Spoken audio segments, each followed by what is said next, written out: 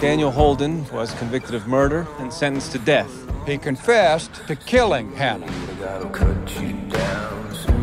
Why ain't you dead, Daniel Holden? Why ain't you dead? Daniel Holden, how does it feel to be free, Daniel?